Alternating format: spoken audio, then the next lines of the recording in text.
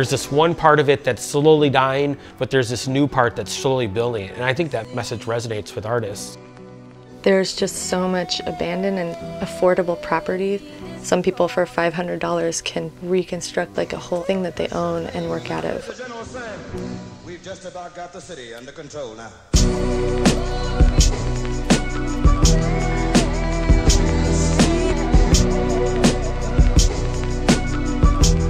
The arts are that kind of savior, the food for the soul. What you do kind of uh, radiates you can see the rippling effect of what you have done. And I think that's where it, it becomes a very special place. They're so influenced by the architecture, the, the vast landscapes, the empty fields, the epic buildings, uh, all of these aesthetics that are of our landscape, and they find it to be very inspiring. The cops really aren't going to tell you no. They're busy with other things, you know. That's one good thing about the financial situation that the city, it's nothing new. It's always been in that to an extent. They don't have time to tell you no. And that makes for great art.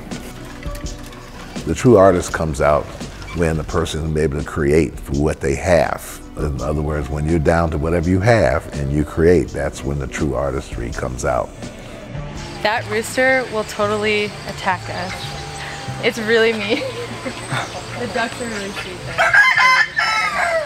I originally came to Detroit through an art project with Juxtapoz and Powerhouse. Everybody that went was just thrown into this like very interesting situation where they're like, you have total freedom to like play with walls or all of these abandoned houses as like an empty blank canvas to do whatever with, like build on, paint on, and the abandon there kind of just led to an automatic like archiving all these treasures that you'd find in abandoned buildings. And I already pretty much only work with recycled materials so it was kind of like a perfect fit to be constantly exploring and just finding all of these like materials and then getting to do whatever I wanted with them led to building the treasure nest and making a giant house that was an installation slash treasure trove,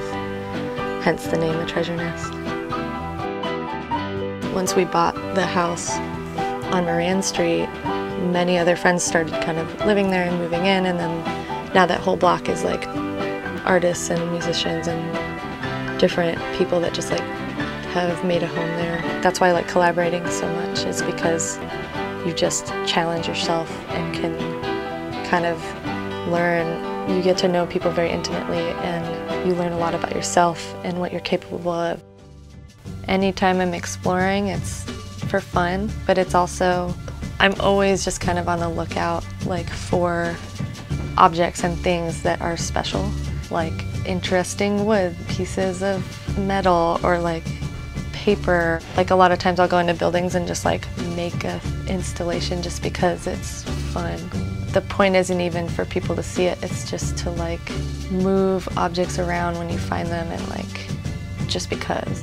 I have no idea what I'm going to do every day because it keeps changing and I kind of really am happy existing like that. It's good like getting surprised by yourself constantly. At this point, it's just like taking all the good and the bad and trying to do something productive with it.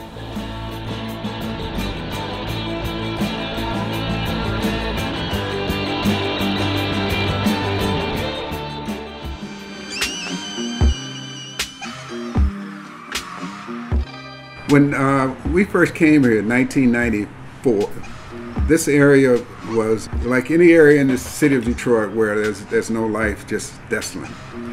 So this started out as an, an, African bead museum, but we ran out of money because the, the roof fell to the bottom of the building. So we said, we're not going to stop there. We'll just do what we can.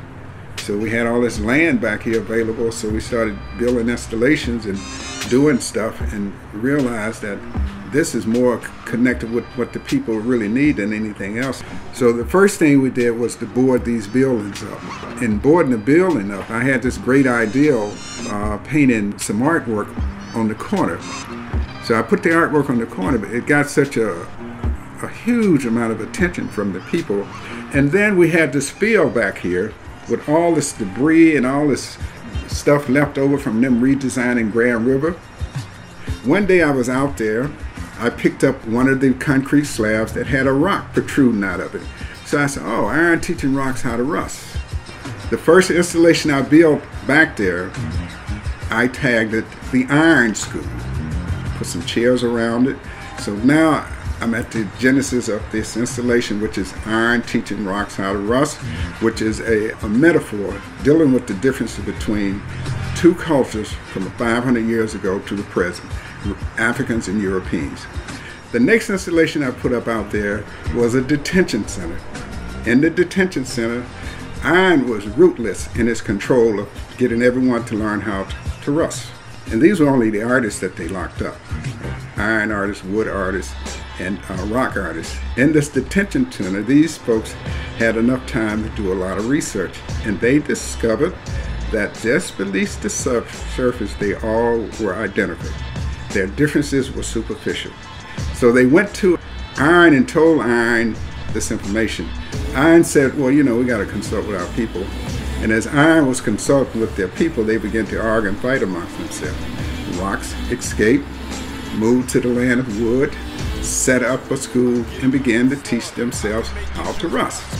So the moral of that is that if you're an oppressed people, you need to be careful what you're teaching yourself. You may just be teaching yourself what your oppressor wants you to learn.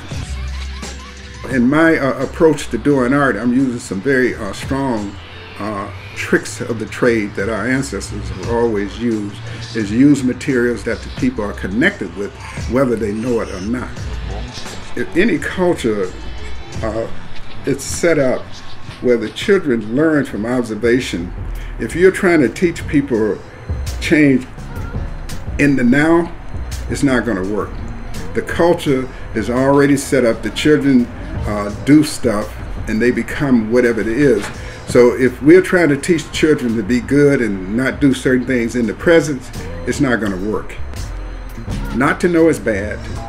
Not to wish to know is worse.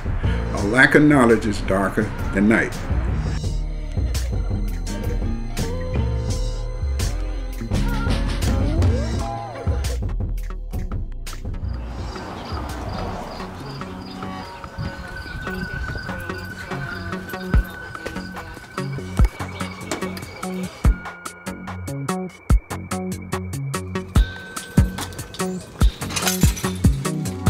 Welcome Art Show 1999.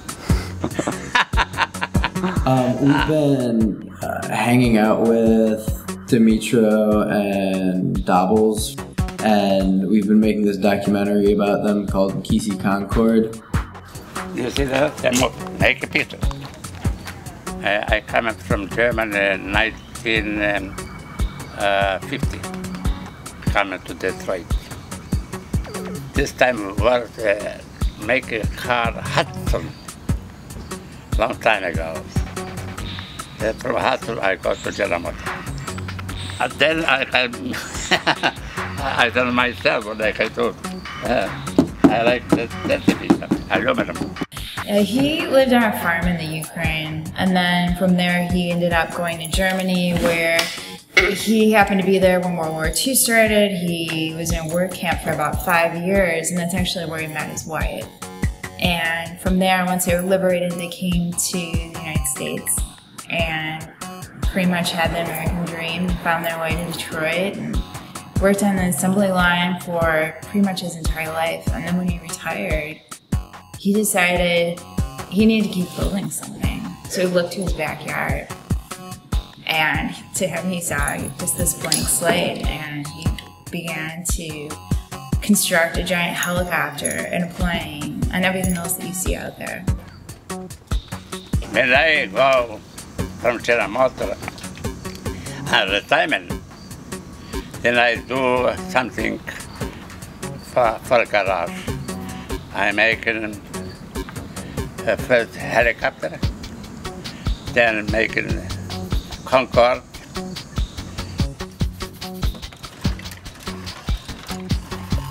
He constantly is renovating it. He's constantly maintaining it, creating new pieces. If he sees something in an alleyway somewhere that he sees potential, he'll pick it up. He'll take it home. He'll find a way to make it his own, and he adds it in.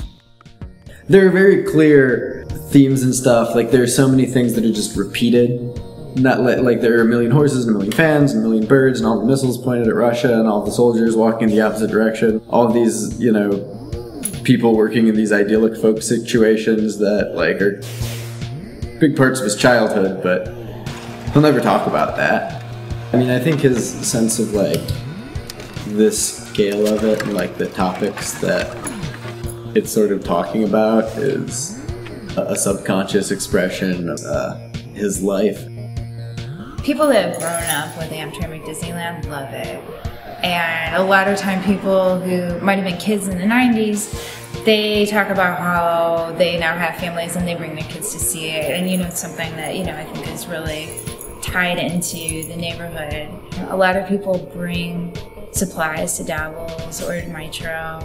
And I've heard from the people that give them things that then it kind of becomes interactive for them because they get to see what did they do with it. Oh, look, there's my horse or there's my mannequin. To hear that kind of involvement and participation, maybe not in a direct sense, but in the sense of giving an object to see what they do with it, is really exciting.